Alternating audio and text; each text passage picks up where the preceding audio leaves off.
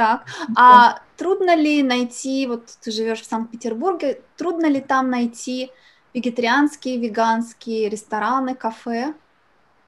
Я специально вегетарианские, веганские не ищу, э, потому что я знаю, что в любом месте, в котором я буду сидеть, есть что-то обычно. И последнее время стало прям все больше и больше.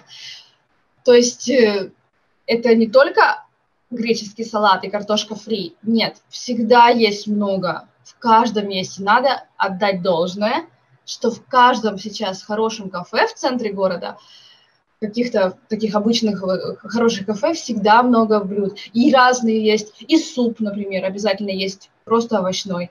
И салатов несколько вариантов без мяса. И паста, например, с грибами или там просто с сыром или с помидорами. То есть много очень. Понятно. Не проблема. То есть это не У проблема. меня. Не проблема. У меня было любимое место, брат, оно, к сожалению, закрылось из-за ну, не, вы, не выдержала э, вот этот локдаун, пандемию, когда еще, год назад закрылись.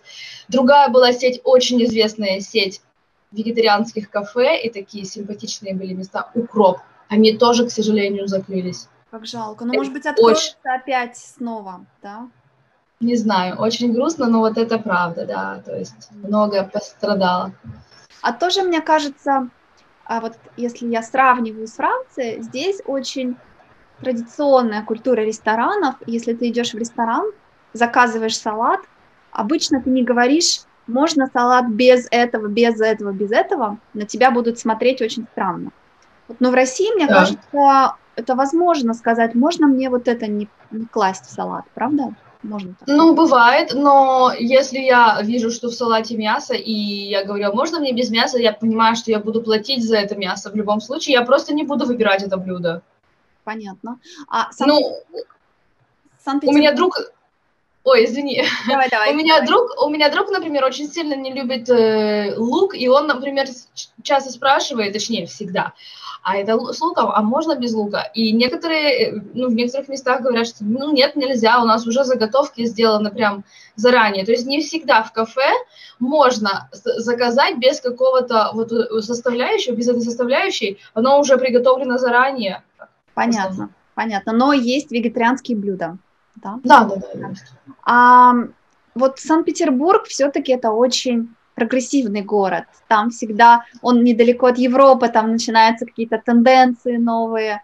Мгм. А в других городах России э, просто ли найти вегетарианскую еду, вегетарианские рестораны?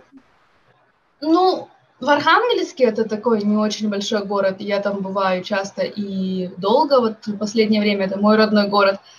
Там прямо отдельно вот таких модных каких-то вегетарианских мест нет. Есть, ну, такие как маленькие, очень, не знаю, семейные, э, только-только начинают появляться, э, и там так много людей туда не приходит. Но в обычных, опять же, местах всегда есть большой набор вегетарианских блюд. Всегда. Понятно.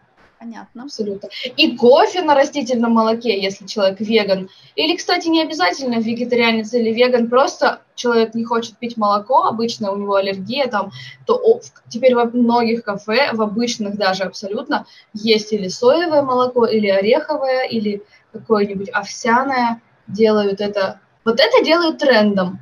Типа Понятно. кофе на овсяном молоке. О, кофе на овсяном молоке. Интересно. Я хочу попробовать. Спасибо большое. Спасибо большое, Анастасия. У тебя есть что-нибудь, э, что ты хотела бы добавить? То есть вегетарианцы, которые хотят приехать в Россию, не бойтесь. Правильно? Вообще нет, абсолютно. Даже в маленьких городах вы всегда найдете, да, что вы сможете, что вы можете поесть. Абсолютно не проблема. Главное, я даже, извини, главное говорить по-русски и читать, чтобы прочитать, что там в меню есть. Правильно? ну да, главное, чтобы понять, что в составе, или спросить официанта, уточнить э, по поводу состава этого блюда. А так, я говорю, я уже об этом даже никогда не думаю, потому что для меня это никогда не было проблемой. Понятно. Так что Спасибо большое, Анастасия. Дорогие друзья, смотрите Инстаграм Анастасии, Ютуб. И также ты начала подкаст, да? Да, добрый путь, как говорится. Надеюсь, это будет регулярное Да, действие. спасибо большое и всем до скорого. Пока-пока.